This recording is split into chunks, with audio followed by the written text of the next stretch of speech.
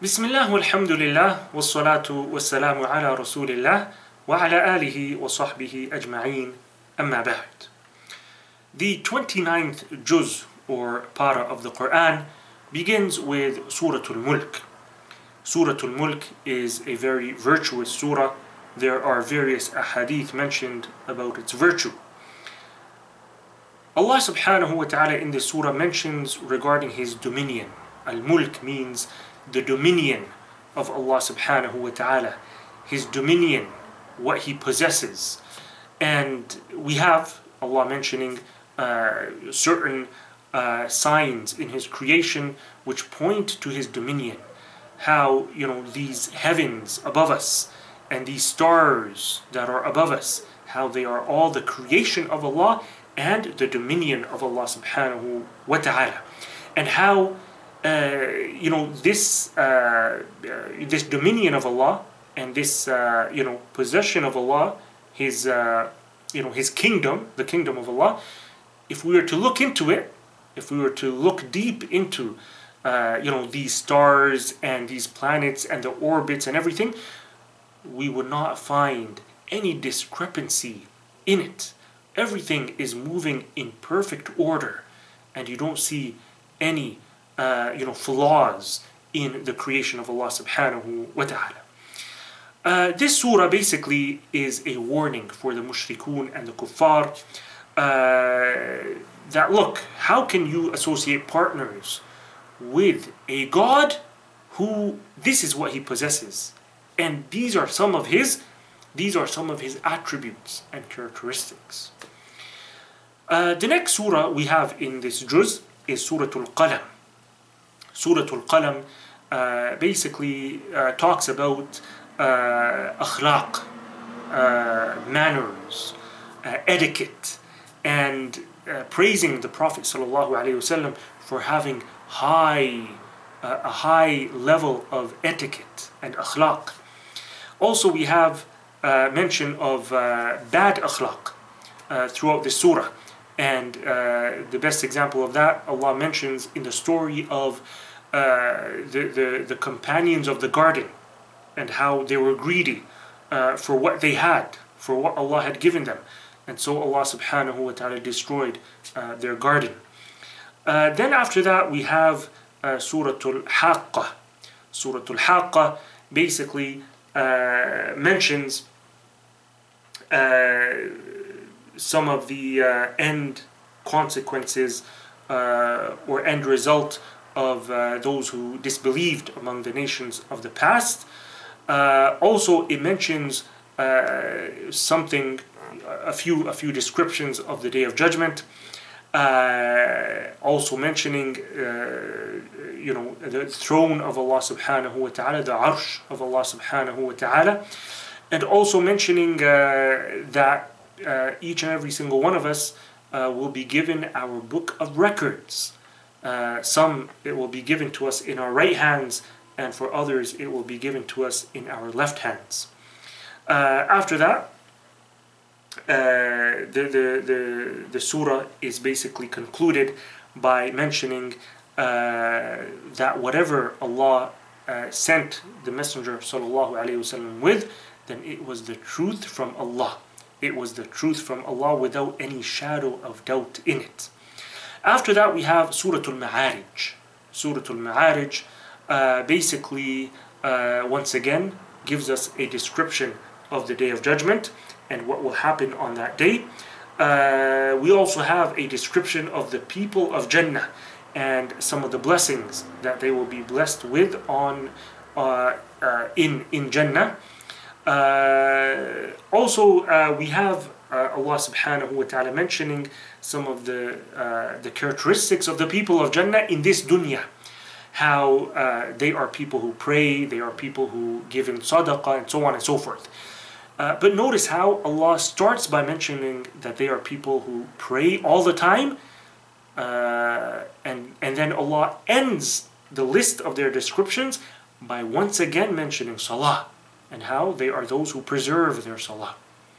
And so this shows us the importance of salah, uh, praying five times a day. After that, we have Surah Nuh. Surah Nuh uh, mentions uh, the entire uh, the entire surah basically is concerning the story of Nuh salam and uh, his da'wah, uh, him calling his people to Islam. And so uh, it mentions how Nuh salam called his people to Islam and then he complained to Allah subhanahu wa ta'ala that, Oh Allah, I have tried and tried and tried. Remember that Nuh alayhi salam gave da'wah to his people for 950 years. And so he was patient. But in the end, uh, he said, he, he turned to Allah subhanahu wa ta'ala and complained to Allah that, Oh Allah, I have done everything I can, but these are a people who do not listen. They are a people who are stubborn. And so it mentions to us, uh, Allah mentions to us what happened with these people and how He destroyed them and punished them. After that, we have Surah Al Jinn. Surah Al Jinn basically uh, mentions the story of uh, that group of the jinn who uh, listened to the message of, of the Quran and embraced Islam. And so Allah mentions here uh, their discussion. So the jinn are speaking, uh, and so they are telling us about themselves and how the jinn uh, you know, uh, what they used to do before the coming of the messenger, how they used to go into the heavens and they used to try to uh, steal uh, the secrets of the heavens. And uh, after the messenger وسلم, was sent, how they are not able to do that anymore, and how among the jinn are Muslims and among them are kuffar, among them are the righteous, among them are the evil ones, and so on and so forth. Uh, after that, we have Surah Al Muzammil. Surah Al Muzammil uh, basically was one of the very, very first uh, verses that were revealed to the Prophet ﷺ. So basically, after uh, after Iqra, after that was revealed to the Prophet ﷺ, uh, we can say that the next surah that was revealed to him was Surah Al Muzammil, Allah calls on the Prophet ﷺ, Ya ayyuhal muzammil, the one who is wrapped up. Because after his first encounter with Jibril and the revelation, he went to his wife Khadija. He was afraid and you know he was shivering. So uh, he wrapped himself up and Khadija wrapped him up. So Allah refers to him as Al Muzammil.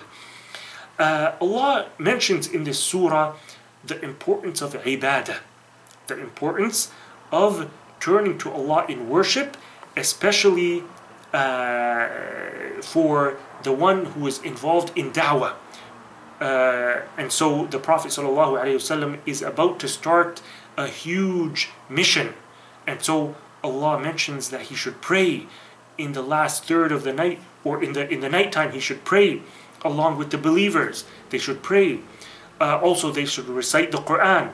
And so it shows us the importance of al-ibadah, especially qiyamul layl, and the effect that it has uh, in, in uh, a person who is involved in da'wah. After that, we have Surah Al-Muddathir, which was also one of the early surahs, uh, one of the early, early surahs that were revealed to the Prophet ﷺ. We have here, uh, this surah talks about um, giving da'wah, uh, especially uh, making the da'wah public. Uh, and so Allah says, قُمْ فَأَنذِرْ And so prior to that, uh, the da'wah was secret. Uh, the Prophet ﷺ was only uh, giving da'wah to his close uh, relatives and people who were close to him. Now he's been commanded to, you know, give da'wah publicly to everyone. in this surah, we have um, Allah mentions uh, how the enemies of Islam respond to the da'wah, uh, also how they respond to the Quran when they hear the Quran, uh, how they are like donkeys who, when they hear uh, the sound of a lion, they, they, they, they, they get filled with fear and they run away. And so this is how the kuffar are, the enemies of Islam are when they hear the, uh, the Quran being recited. After that we have Surah Al Qiyamah, Surah Al-Qiyamah gives us a description of the Day of Judgment, uh, Yawm al-Qiyamah. uh, and also what will happen before it and what will happen uh, after it. Uh, and throughout the surah, Allah mentions al insan, uh, the human being. Uh, it is mentioned six times in this surah. so many times in this short surah, it is mentioned to basically show us the importance that you know where we come from. Allah created us from nothing, and where we are eventually going, and that is to Yawm al Qiyamah. After that, we have Surah Al Insan. Surah Al Insan basically uh, summarizes for us uh, the punishment that awaits the disbelievers. Uh, and also, on, on the other hand, it mentions uh, the blessings that await the believers. Uh, and so, Allah mentions uh, several blessings of the people of Jannah and also Allah mentions you know various descriptions of the the, the punishment that awaits the kuffar uh, in the hellfire. And then finally we have Surah Al-Mursalat. Surah Al-Mursalat uh, is the last surah in this juz. It basically uh, affirms the issue of the resurrection, that there is life after death, with various evidences. Allah mentions it. Uh, and that's why uh, Allah uh, mentions uh, throughout the surah وَيْلٌ وَيْلٌ يَوْمَئِذٍ لِلْمُكَذِّبِينَ So woe, woe be to uh, to the the people who deny. Woe be to them on that day. Woe be to them on that day. Meaning that you know uh, these kuffar who deny the reality of life after death, woe be to them on that day. Because on that day they will see the reality of life after death. And so, uh, you know, it is best for them now to believe rather than regretting on that day. Uh, and that is what we basically conclude with in this session. سبحانك اللهم وبحمدك أشهد أن لا إله إلا أنت أستغفرك وأتوب إليك